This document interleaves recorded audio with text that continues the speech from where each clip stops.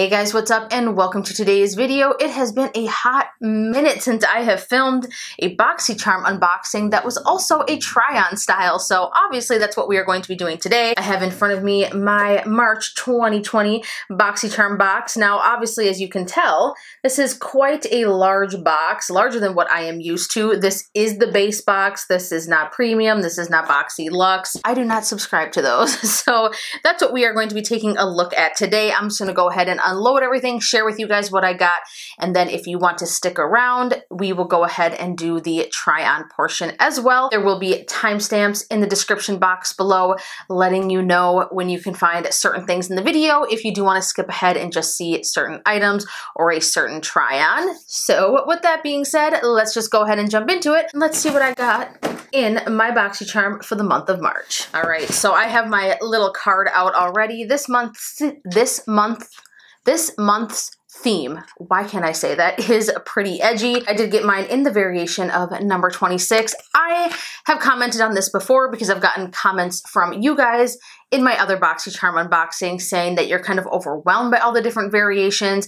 Some people have actually said they're kind of sick of having so many different variations, but I think it's great and it's definitely really great for us content creators because we can make unboxings and you guys aren't going to get sick of watching them because everyone's getting something somewhat different, which I think is nice and it does amp up the mystery side of it a bit. So I kind of like all the different variations, just my two cents on that. So we're gonna go ahead and just open this box. I'm going to grab the first thing here, which is the mini ceramic curling iron with a cool tip. This is from Sutra Beauty. Now this was one of the options. I don't remember what else you could pick for your box, but I did opt for the curling iron because I aspire to do more with my hair. Some of you that have been watching me for a long time are probably like, yeah, right. You're just going to wear your hair up, which is probably true, but nonetheless, hey, if I don't end up using this, then I can go ahead and pass it on to a friend, family member, or pop it into a giveaway, someone who would be interested in this. But this is what this little mini curling iron looks like. It just simply has an on-off switch. It says style your hair like a professional with this mini ceramic curling iron. The compact design is safe for all hair types and has a max temperature of 370 degrees Fahrenheit. Create gorgeous curls with ease and keep hair healthy with even heat distribution and adjustable temperature controls. I don't see any adjustable temperature controls on this. I only see an on-off switch. So I'm not quite sure what's up with that. Like I said, there is literally no temperature control on this whatsoever. I do have to say that if you have longer hair, it might be kind of a pain in the ass to use something like this because the curling space, you get about this much. So just a heads up on that. It says that this retails for 50 bucks. Either way, I like stuff like this. I think it's pretty cool, which is obviously why I chose to have it in my box. Let's move on to the next item. Oh, and we have an eyeshadow palette. Now, I'm actually happy that I got this palette. I've seen that there were several other different options in this box, and I'm glad that I got this one. I have seen sneak peeks. This is the Hello Charmer palette, so this is an exclusive. Features a blend of 12 matte and shimmery shades made specifically with our charmers in mind. It says these highly pigmented colors deliver maximum payoff while providing smooth textures for a transitional day to night look. This would retail for $39 if it were to be sold, I think these colors are gorgeous. Look at this one down here. Swipe up. Hoping you guys can kind of see the glitter in that. Oh my gosh, it is so gorgeous. I think that this palette is beautiful. This is a gorgeous collection of shades. It's very true. There are some very easy, minimal daytime looks. You can amp this up, smoke it out. There's deeper tones in here as well. And then obviously the bright, fun colorful shades in here. These shades, all of these right here, this just looks absolutely beautiful. So I cannot wait to get this on the eyes. Let's just go ahead and do a couple of swatches. Let's check out Charmer. I wanna do full size and then let's take a look at Swipe Up. So this is like a pressed glitter. Focus camera, there you guys see that. Look at the pigmentation. Hello, yes. That's why it's called the Hello Charmer palette. It is saying hello. Absolutely gorgeous. Oh my gosh, that is beautiful. Let's try this guy. Woo! Pigmentation is real. And then let's try that pressed glitter. Wow. All right then. I'm pretty impressed. I do actually want to go ahead and swatch a couple of the mattes. So I'm going to take, wipe off my hand on my pants because that's what I always do when I'm filming. Let's check out unboxing Cup of Joe and then let's do spoiler right here. I always like to show you guys what the shadows look like on my fingers just so you can kind of get an idea of that. All right, let's just put these right here. Love that type of shade. Perfect transition shade. So that's pretty nice. I mean, they swatch really well. These colors look beautiful, very wearable, lots of different options. So I am excited to eventually dip into that. The next item is from Spongelle. This is a body wash infused buffer. Now, if you guys watch Kiki Chanel or Kylie Dennison, I don't know if you've ever checked out her channel. She does amazing, like amazing anti-MLM videos. Fantastic. I love them. I am obsessed. But she always rants and raves about these Spongelle buffers. So I am super excited. I've always wanted to try one. I think it's really cool. It says it cleanses, exfoliates, hydrates, and massages. So you kind of just place the sponge underwater, squeeze it to get everything absorbed, and then massage in circular motions to cleanse the skin. And then you just squeeze out the excess water after each use. So I don't know how long each one of these sponges lasts. Doesn't really say, but it says that it is suitable for all skin types. It is vegan, paraben free 100%. It is a patented delivery system, good for 24 months, and it is cruelty free. It's actually made in the United States. It says in Los Angeles. So yeah, looking at the ingredients, it looks pretty good. Oh my God. This smells like something. I can't stick my finger on it. This is in the scent French lavender.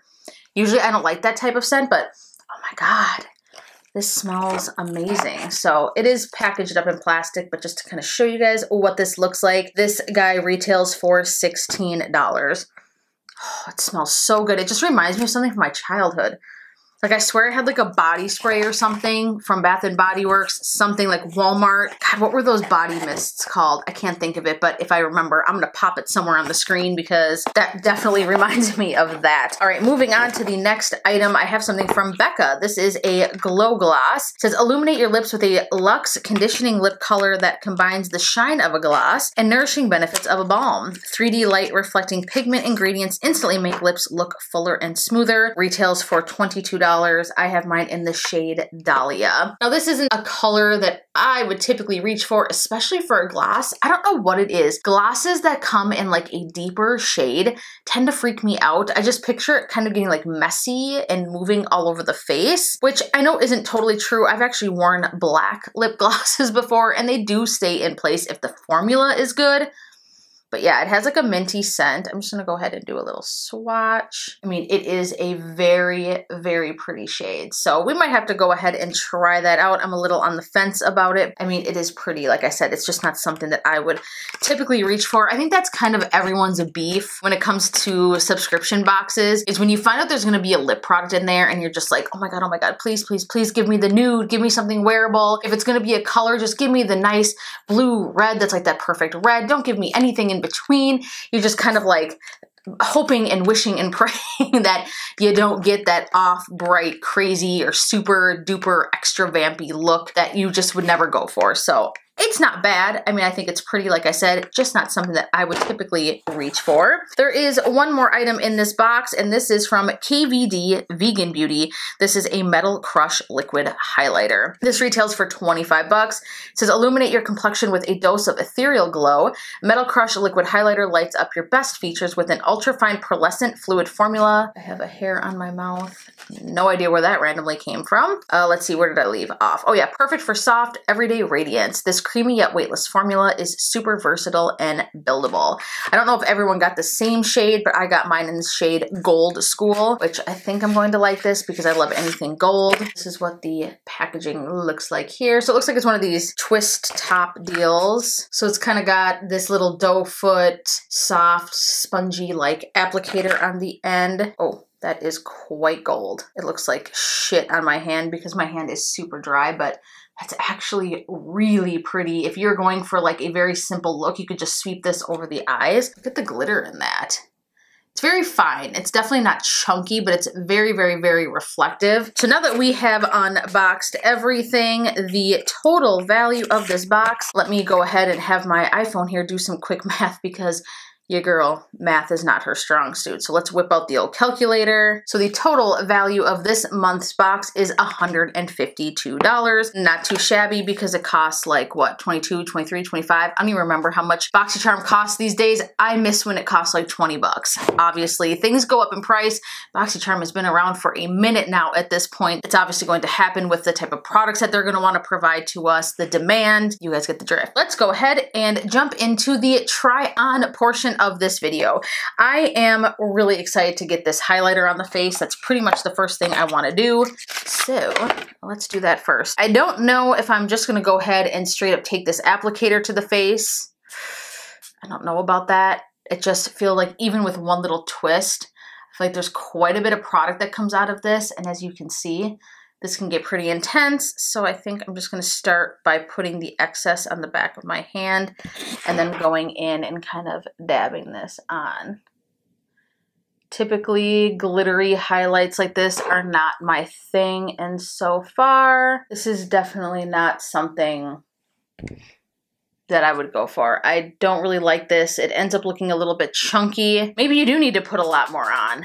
Let's try just slapping a crap ton of it on. Let's see what happens. Otherwise, I could be in trouble and this could look like a total train wreck. Yeah, this is not a cute look way too chunky. It just looks like I have random glitter all over my face. No, that's not cute that's not my thing. Not for me at all. I don't even know if I want to bother. Well, let's just do it. I was like, I don't know if I want to bother putting it on the other side of my face, but now I kind of got to make things even. So, ugh, no, no, no, no, no, no, no, no, no, no, so much no. It is not my deal.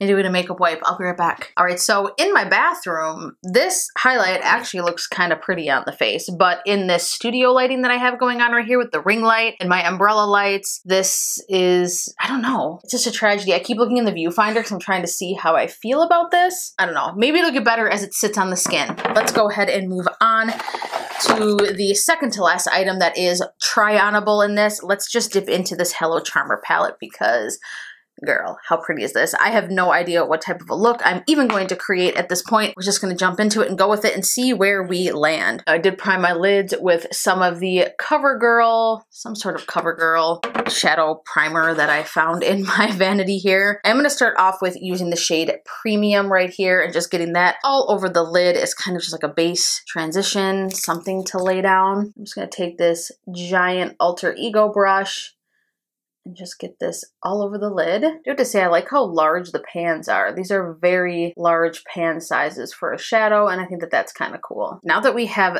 that down, I'm going to take Cup of Joe using this Sonia G brush. This is the crease 2 brush. I'm just to get that all up in the crease and on the outer edge.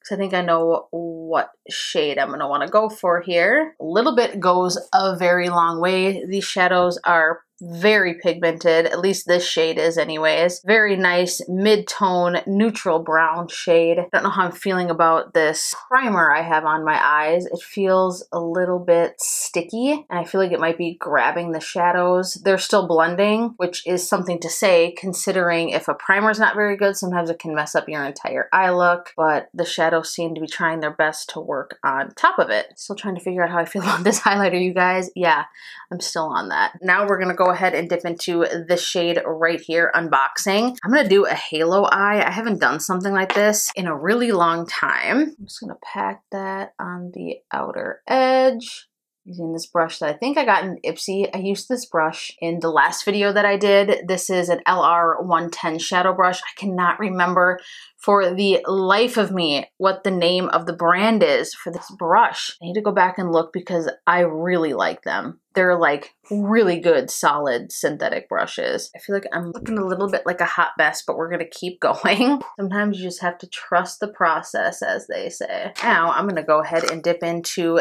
this guy right here, this gorgeous glitter shade in Swipe Up. Now when I work with glitters, I like to kind of press them on my hand somewhere to kind of flatten everything out and get rid of the excess so I don't end up with a crap ton of fallout. And I'm just going to focus on pressing that right into the center of the lid only.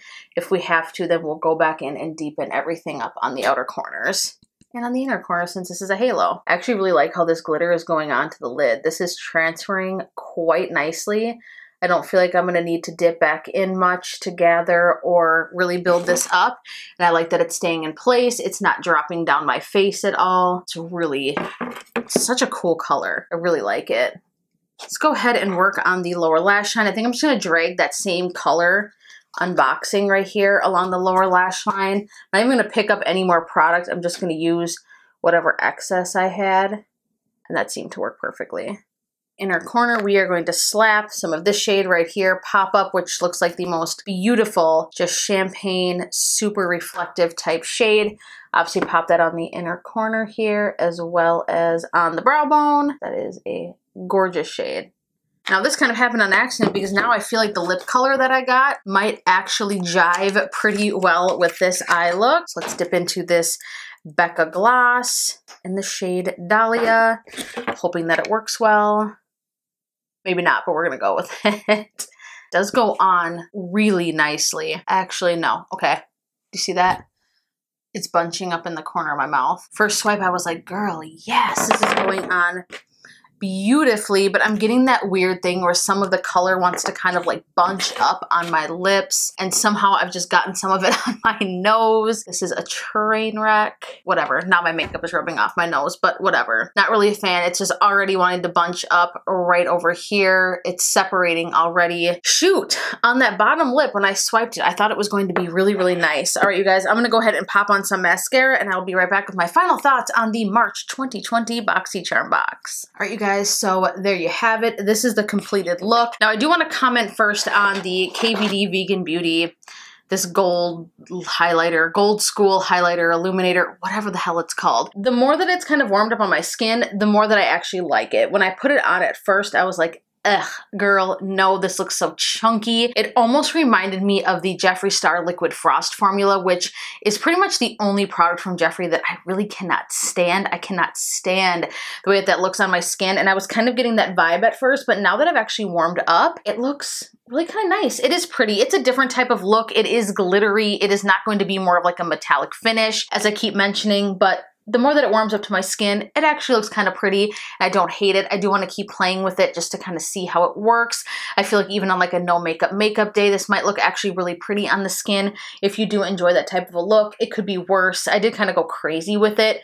It's like strobed on my cheek, but I didn't know how the product performed. So there you have it. I don't think that that is too bad. I was about to be really bummed about getting that item, but eh, it could have been worse. The Becca Glow Gloss, not my favorite. The color wants to bunch. I think it might just be the shade. I'm not 100% sure. Let me know if you got the same product in your box, but a different color, and let me know what you thought about it. I do think that the color is pretty once I have it on the lips, but again, not something that I would typically reach for.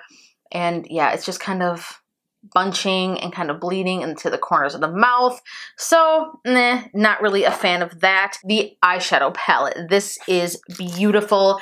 I absolutely loved how the shadows that I used performed on the eyes. They blended with ease, even though I thought that the primer that I chose was going to be quite tricky. I am a huge fan of the eye look that I created. I think it's really pretty. That pressed glitter in there, the shade Swipe Up, is so unique and gorgeous. It's like pinky with like green reflex. It's gorgeous. I absolutely love it and I cannot wait to keep playing with this palette. I am super stoked about that. The Spongelle French Lavender Body Washed Infused Buffer. Really excited to try this. Obviously, I can't really tell you what I think about it yet because I haven't tried it, but the scent is fantastic. Last but not least, the Sutra Beauty Curling Iron. Again, I'll have to try it out and keep you guys posted and let you know what I think. I just find it odd that in the description, I don't even know what happened. Oh, to it, here it is.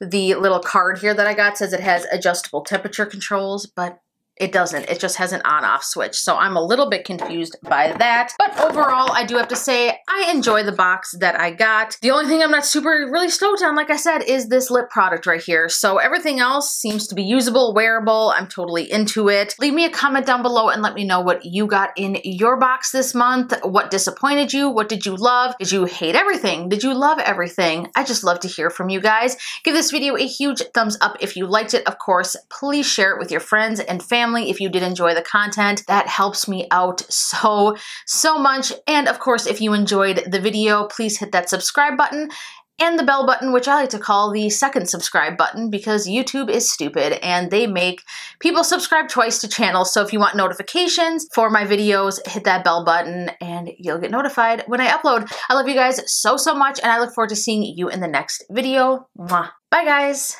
And last but not least, yeah, just hit myself in the eye with this curling iron. That didn't feel good. Hey guys, what's up? And welcome to today's video. I have, okay, that was really lame. That was like someone trying to be cool. That's just really not cool. I did get a comment from a subscriber yesterday that asked me if I had gotten any of my Boxy or Ipsy charms. Ipsy charms?